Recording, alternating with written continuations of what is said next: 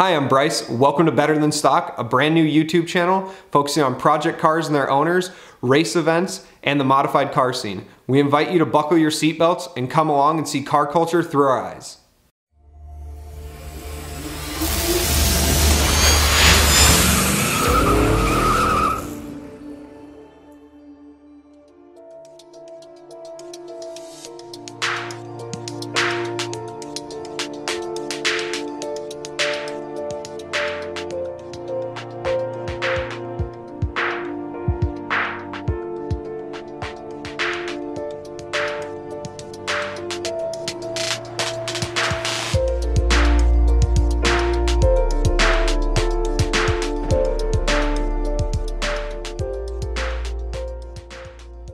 Here at Better Than Stock, one of our passions is project cars. Along the way, you'll see some of our project cars along with some people that we meet. Behind me are three of our current project cars, but before I talk about those, let's talk a little bit about why we have these project cars and what makes us spend the money that we do along with all the time that we put into these things. One of the biggest things is wanting to have the car look unique and perform better than they ever did stock. We don't want it to look like it just rolled off of the assembly line or you just bought it off of a dealership. A lot of the things is to make it unique to yourself and to the events that you plan to do with it. For example, when people go out to a road course, they want their cars to have the grippiest tires, the best tuned suspension, to be able to take those corners to go as fast as they can. Then you have the whole other aspect of it of the people that are into stance where they just want their car to look really cool parked or maybe driving, where they're gonna have the big wheels, the camber in the cars along with stretch tires. They're trying to get the car as low as possible. And they sometimes do look like they should belong in a showroom.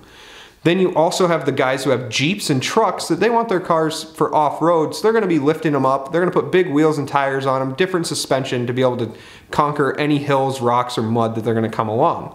Then you have guys that go into drifting where they're a little bit of the stance side, but also they have some track aspect into it too, they're gonna have their cars, they want them to look good in photos along with perform well. So they're a mix between, I would say, a race car and stance cars. But for now, we can talk about some of the cars behind me. One of the cars we got behind me, we got a 71 uh, 240Z.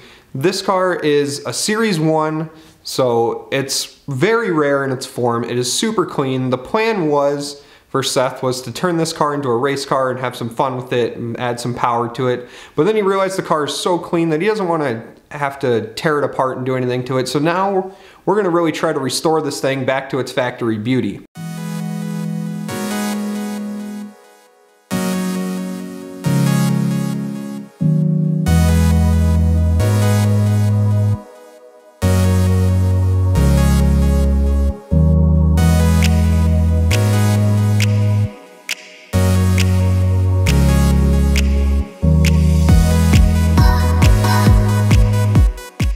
Then to the right of me, we have a 77 280Z. The plan with this one is to be able to put a 2J in it, a single turbo, make some good power out of it, around 400 horsepower, some carbon fiber on it, and really kind of get that unique look, but still perform very well.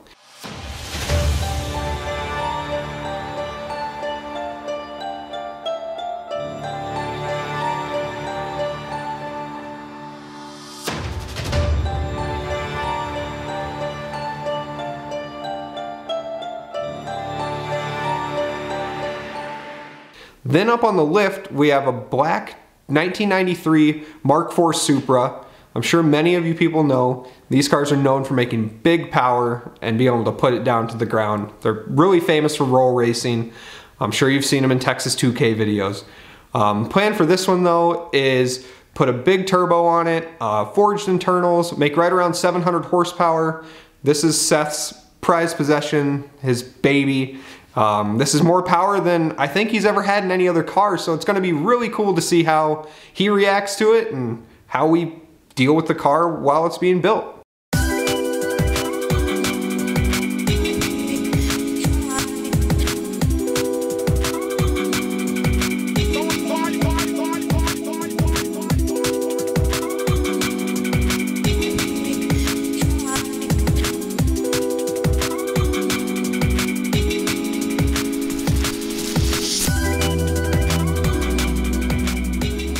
So along with project cars and modified cars, we want to show you cars in action.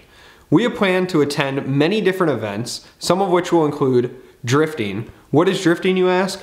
Drifting isn't so much judged upon speed like other races are, or you're being timed. It's more of skill of the driver and appearance. One of the other events we plan on going to would be autocross. What is autocross? Autocross is typically in a parking lot. You're gonna be racing around cones and you're trying to set the fastest lap time without hitting any of the cones. The other event we plan on going to would be some road course races, which are gonna be just like your typical F1 race, where you're gonna basically be trying to set the fastest lap time around the track and achieve the quickest speed that you can. So our plan is to show you car culture through our eyes. What is car culture, you ask? Car culture is just as much about the car as it is the person behind the car itself. Here in Detroit, the Motor City, we have some of the best car culture in my opinion in the United States. You can find anybody who's into cars almost any day of the week at any time in the summer. As long as the weather's nice, you'll see anything from a 458 Italia driving down the road all the way to a 69 Camaro. And then you can even see some Mark IV Supras, anything from Japanese to Euro.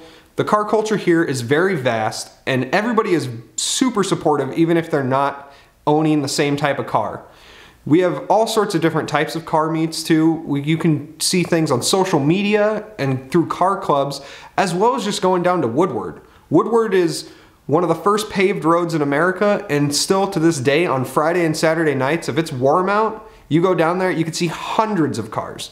And we love to document all that and show all that to you, and that's gonna be our plan. So along with modified cars and car culture, we appreciate cars in their stock form. We're lucky enough to live near Detroit, the Motor City, the epicenter of the automobile industry, that we have the chance to attend the North American International Auto Show. This is where many of the big OEM manufacturers will bring tons of their new models along with prototype models that they plan to put into development in the future. Our other plans are to bring you some unique car reviews on new vehicles as soon as they hit the showroom floor. So thanks for tuning in to our first video. We look forward to bringing you some exciting content, some beautiful footage, so please show your support and hit that subscribe button, give us a thumbs up, leave a comment, share it with your friends, and we'll see you in the next one.